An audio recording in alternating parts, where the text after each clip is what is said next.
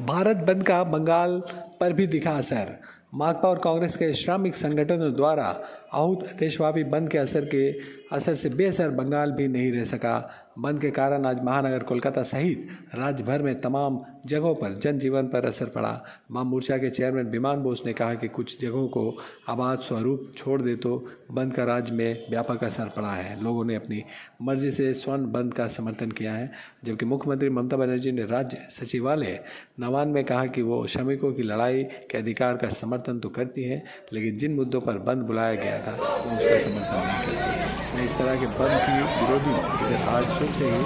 महानगर हुगली उत्तर दिनाजपुर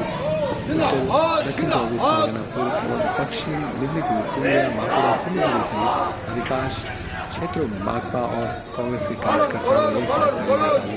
सड़कें जाम की टायर जलाए और यातायात बाधित कर दिया इस दौरान कई स्थानों पर पुलिस और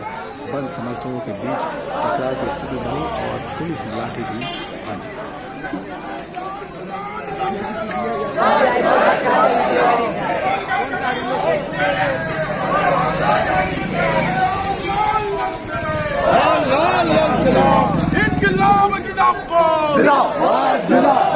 स्वामी कृष्ण शान से इनकलाब जिंदाबाद श्रमिक विरोधी आईना विरुद्ध आज